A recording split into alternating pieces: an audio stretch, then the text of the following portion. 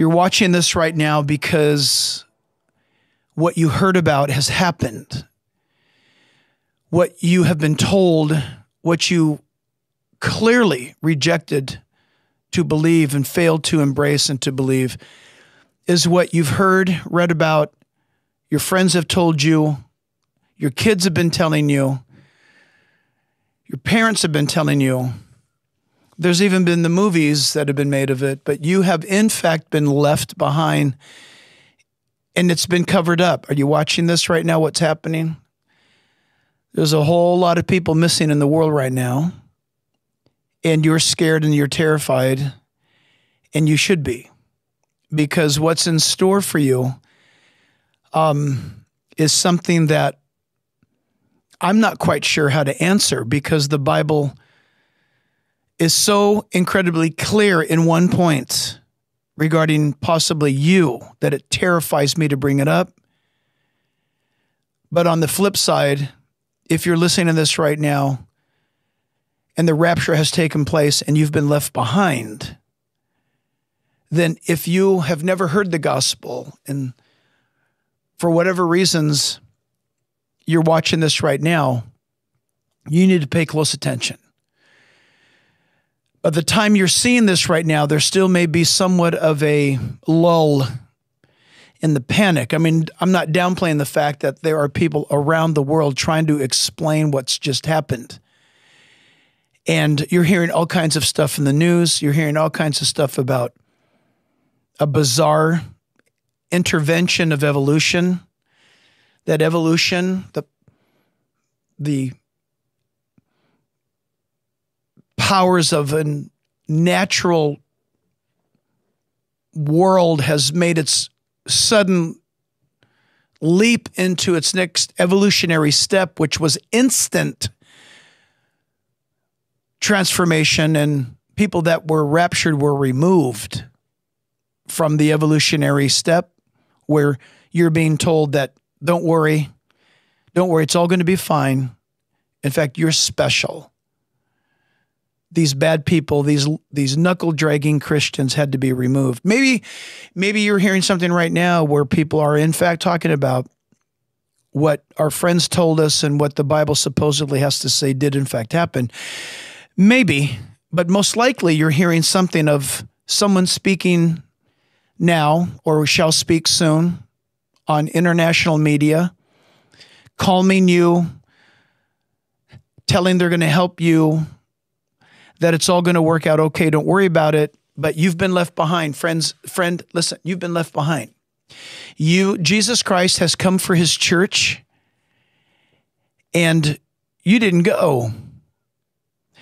And in a matter of hours or weeks, if it hasn't happened already, the Bible says in Second Thessalonians chapter 2 that because of the rapture has taken place and you did not pay attention, you did not believe, that you are going to be deceived by your own choice and you are going to momentarily, if not soon, believe the lie definite article the and the word lie. You are going to believe a supernatural lie from Satan. And yeah, yeah, you're laughing. I'm sure you're, oh, Satan, I'm sure. Hey, listen, can I remind you, you have been fatally wrong and guilty of laughing off Jesus. And now here you are. I'm gone, we're gone, and you're still here. What do you do now? Well, the Bible says in Second Thessalonians chapter 2, and you should read it, that you had the chance to believe in the love of the truth, but you refused it.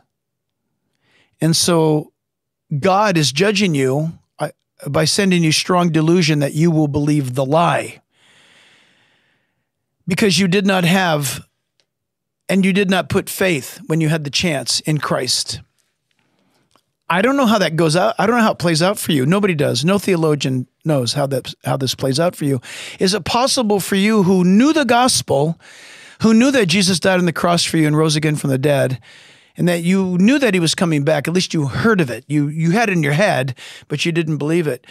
I have to tell you, I don't know if you can actually be saved or not based on Second Thessalonians chapter 2. Look, read it. Are you condemned by your unbelief according to that scripture? I pray not.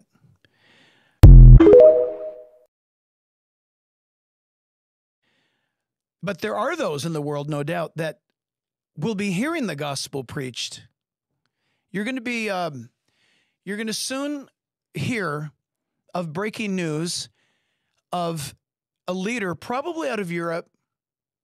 Um, someone's going to arise and they're going to have an idea on how to bring a peace treaty to Israel regarding its dilemmas and its enemies and they're going to they're to have a peace treaty friends on TV soon that's 7 years long.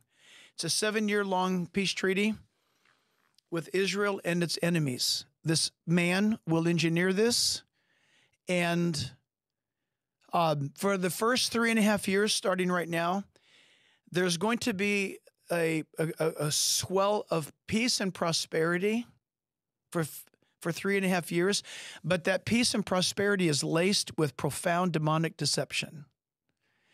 This man is going to swoon you into not only believing in him, but believing in him to the point that you are going to begin to think that the gods have visited us. It may be explained to you that he is some form or type of an alien being, a manifestation of the sons of God. There may be something said to you that that's who Jesus really was, was one of many enlightened ones. And now he's the newest, he's the latest and the greatest. The Bible calls him the son of perdition. The Bible calls him the Antichrist. The Bible calls him a human that is demon possessed. In fact, demon possessed to the point where Satan himself at some point will enter him. Seven year peace treaty with Israel. And in about three and a half years from now, he's going to stand in the newly rebuilt temple in Jerusalem that he's probably going to give the uh, permit to have rebuilt. He's going to stand in that temple and declare himself to be God. And the world is going to go nuts in approval of him. They're going to love it. And um, you're going to have to choose between Yahweh being God and the Bible being true. By the way, I'm assuming that you're able to get a hold of the get a hold of a Bible right now. There may be an I don't know, there might be a movement to banish all Bibles, to burn them, destroy them. There might even be a, an attempt to erase the Bible from being available from the cloud or online. I don't know. But um, the fact is, I'm gone and you're here. And uh, listen, this is what you failed to believe in. For the grace of God that brings salvation has appeared to all men. What's ahead of you, if you're going to choose to follow Jesus Christ now, is a time of unprecedented persecution. And though you refused to live your life for Jesus when you had a chance, that opportunity now is gone from you. Now, if you're going to become a follower of Jesus Christ, you will be killed for it. The book of Revelation, chapter 13, tells you that you, for having putting or going to put your faith in Jesus Christ, you will be beheaded. You're not going to be strangled. You're not going to be shot. The book of Revelation, chapter 13, says you will be beheaded put it, for putting your faith in Jesus now. And I want to suggest no, I want to tell you that though the opportunity for you to live for Christ is now gone, the opportunity now is upon you to die for Christ because it is here. And what's in store for you when they offer you the pref, uh, prefix, prefix number? You're going to be granted a number. They may play off of in the United States your social security number. If you're in the EU, your personal ID number. If you're in China, it may be your uh, your personal identification uh, social score number that's uniquely yours. Doesn't matter what it is, where you're at. You're going to be offered to receive a prefix number, which will allow you to continue to obtain food, mobility, some form of a diluted freedom under the reign of this individual and his powers. Right now, as I speak to you, nations are swearing allegiance to this guy because he's got the answers. I just want to remind you that he has demonic powers and demons are speaking through him. That's why he's so convincing. Listen to him. Listen to what he's saying. Listen to how he's saying it. He's got remarkable answers, does he not? Pretty soon you're going to be seeing him manifest um, a, a, a, co a co partner with him. He's going to have a sidekick, a religious leader known as the false prophet in the Bible. I'm sure he's going to have a different name for him. A a a, a multi what what what will he be? I'm guessing right now is is he a ecumenical unifier? Is it the Antichrist uh, PR man? Whoever he is, he's going to be a religious leader. You may have already found out about him.